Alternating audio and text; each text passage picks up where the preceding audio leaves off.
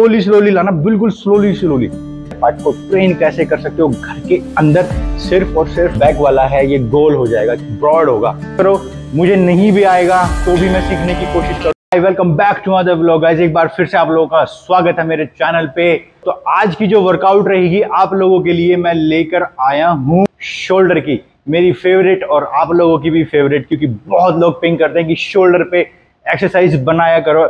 Videos बनाया करो ज़्यादा से ज़्यादा। बट मैं कोशिश करता हूँ कि वीक में एक ही एक्सरसाइज आप लोगों को बताऊँ हर बॉडी पार्ट के लिए, ताकि आप लोग अच्छे से अपनी मसल ट्रेनिंग कर पाएँ और आप एनालाइज कर पाएँ कि किस तरीके से आप ग्रो कर पाएँगे अपने मसल्स को। तो चलो, अगर बिगनर हो तो एक वीक में एक पार्ट यानी कि एक बॉडी पार्ट को एक बार ट्रेन करें ताकि आप लोगों को रेस्ट भी मिले। आप लोग अच्छे से ग्रो अप हो पाए। धीरे धीरे मेरा मानना है कि जितना धीरे धीरे आप लोग अपने आप को ग्रो करोगे एक्सपीरियंस लेते रहोगे टेक्निक सीखते रहोगे वेरिएशन सीखते रहोगे, उतना अच्छा आप लोगों के लिए बेस्ट रहता है।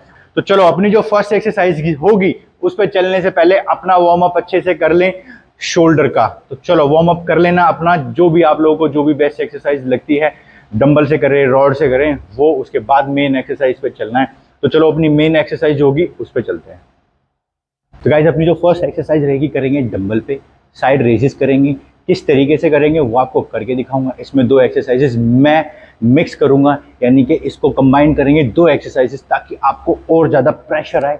आप लोगों को एनालाइज हो कि हाँ जब प्रेशर आता है बॉडी के ऊपर, यानी कि हम जिस मसल को ट्रेन कर रहे हैं, उस पर कितना मज़ा आता है। तो चलो, थोड़ा सा आज आप लोगों को मैं थोड़ा हटके और वेरिएशन थोड़े थोड़े मिक्स करके बताऊँगा।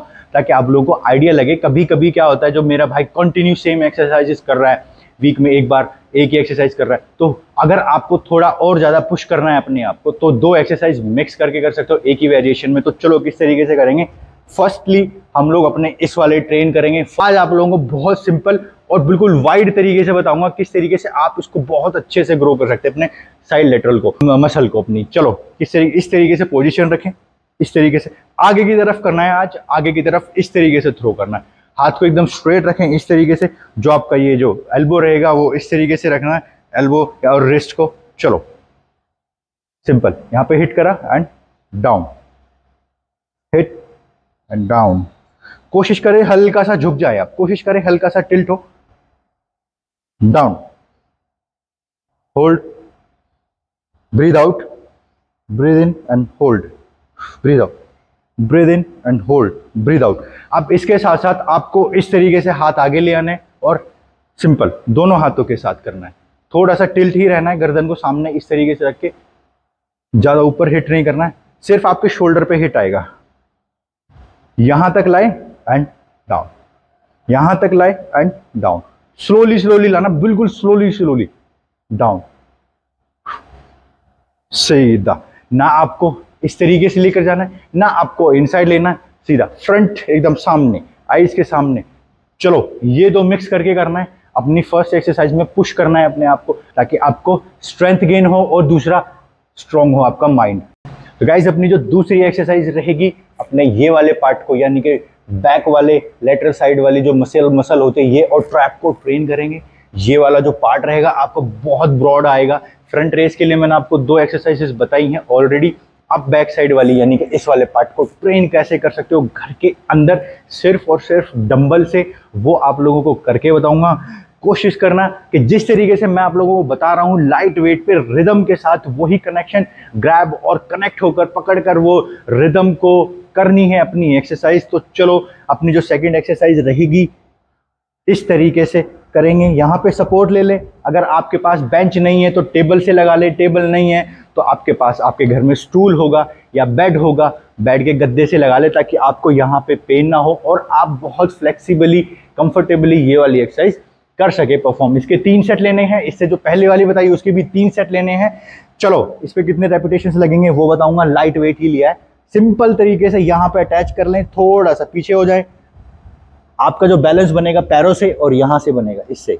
कोशिश करें, अगर आप डबल हैंड नहीं ले पा रहे हो तो सिंगल हैंड से करें और इस तरीके से पकड़े अपना डम्बल इस तरीके से। चेस्ट अप रखें और सिंपल, ये हिट करा अपने मसल को। हिट अगर ऐसे नहीं आ रहा है, आपको कंफर्टेबल नहीं लग रहा है हिट नहीं लग रहा है तो इस तरीके से भी कर सकते हैं आप और ये। हिट हिट यहाँ पे होल्ड करना है and down hold and down hold and down hold and down best exercise है आपके ये वाले ट्रैप्स को ट्रेन करने के लिए, ये वाले ट्रैप्स को. ये वाला बहुत अच्छे से निकल कर आएगा गाइज़ करके देखना जिस टेक्निक जिस वेरिएशन और जिस स्टेबिलिटी के साथ मैंने ये एक्सरसाइज करके दिखाई है, एक हाथ से कर लोगे, एक हाथ से भी बेस्ट एक्सरसाइज आपकी निकल कर आएगी. ट्रस्ट मी चलो, बहुत बेस्ट एक्सरसाइज है। दिखने में लगती हो बहुत इजी सी है बट इजी नहीं है। जब आपके प्रेशर पड़ता है ना लाइट वेट से तो बहुत अलग लेवल का फील आएगा। चलो, अब चलते हैं अपनी तीसरी एक्सरसाइज पे। बेस्ट एक्सरसाइज है। देखो, मैंने पाँच ही करे हैं, और आप लोगों को दिख रहा होगा अच्छा खासा। ये देखो, यहाँ पे। करके देखना, मज़ा आ जाएगा। चलते अपनी तीसरी एक्सरसाइज पे। तो गाइज़ अपनी जो थर्ड एक्सरसाइज रहेगी डंबल प्रेस करेंगे। उसमें मिक्स करेंगे आर्नोल्ड प्रेस करने के लिए। तो चलो, मैं सिंपल आर्नोल्ड प्रेस ही करके दिखा देता हूँ आप लोगों को, क्योंकि ज़्यादा हैवी हो जाएगा और ज़्यादा थोड़ा सा कन्फ्यूज़न ना हो आप लोगों को। तो इस वीडियो को और इस इन एक्सरसाइजेस को सिंपल तरीके से और कंफर्टेबल आप लोग होकर कर पाएँ। ये जो एक्सरसाइजेस हैं, मज़ा आए आप लोगों को, बस उस तरीके से करने का।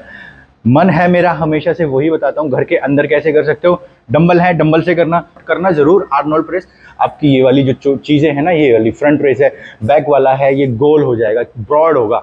चलो सिंपल है, इस तरीके से पकड़ना है, इस तरीके से आपकी ग्रिपिंग रहेगी चेस्ट अप रखना है, हो सके तो किसी दीवार या बेंच स्टूल या फिर बेड से आप लोग अटैच हो जाएँ, ताकि आपकी बैक पे पेन ना आए और आप जो एक्सरसाइज परफॉर्म करना चाहते हैं, सिर्फ़ और सिर्फ़ उसको कंफर्टेबल होकर कर पाए। और बहुत इंपैक्टफुल एक्सरसाइज है, करके देखना। चलो, यहाँ पे रखना है, ज़्यादा ऊपर भी नहीं होल्ड रखना है, ज़्यादा नीचे भी नहीं रखना है। चलो, इस तरीके से रखा। One two three and four चार स्टेप्स में ये आपकी एक्सरसाइज परफॉर्म रहे, करनी पड़ेगी आपको। और जिस तरीके से मैं करके दिखा रहा हूँ, उस ही तरीके से गिन लेना चाहे अपने स्टेप्स स्टेप्स गिनोगे कनेक्ट करके चलोगे। रेपिटेशन से इस पर कम से कम बारह लेना है।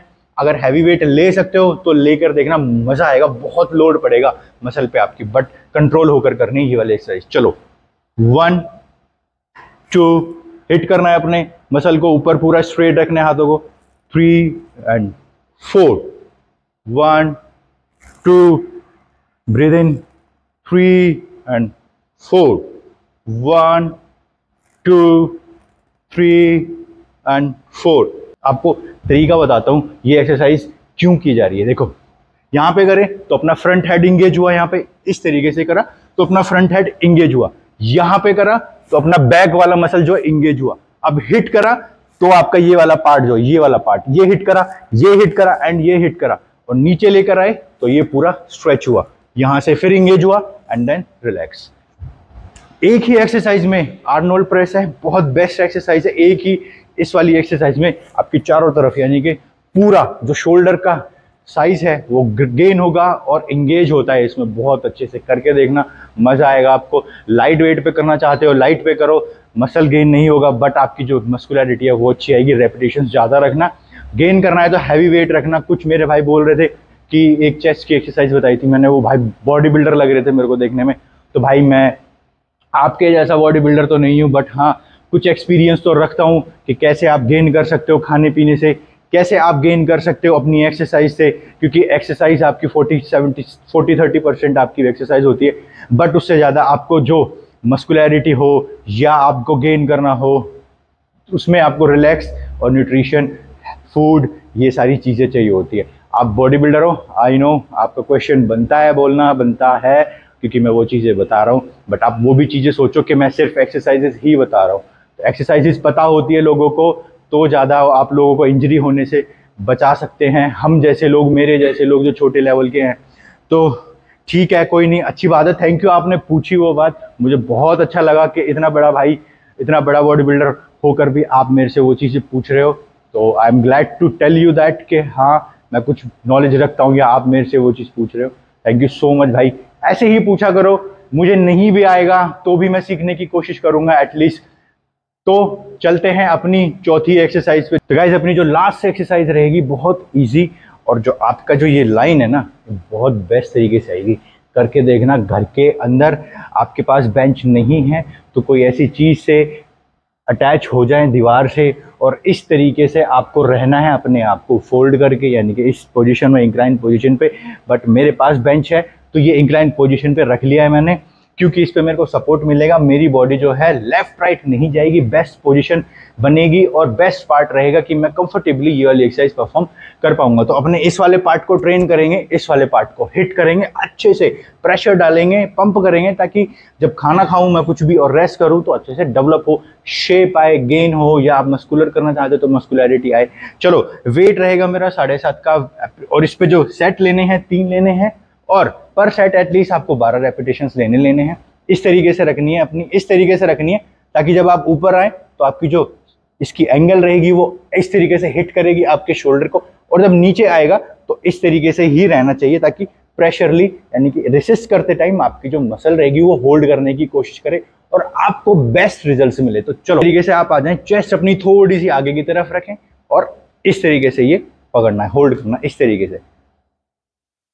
Breathe in and hit down breathe in slowly down breathe in and hit slowly down breathe in and hit slowly down गर्दन सामने रखना है सामने की तरफ़ देखकर अपने वेट को देखकर अपने पैरों की ग्रिपिंग को सोच में रख के कनेक्ट करके ये एक्सरसाइज परफॉर्म करनी है hit and down hit and down hit and down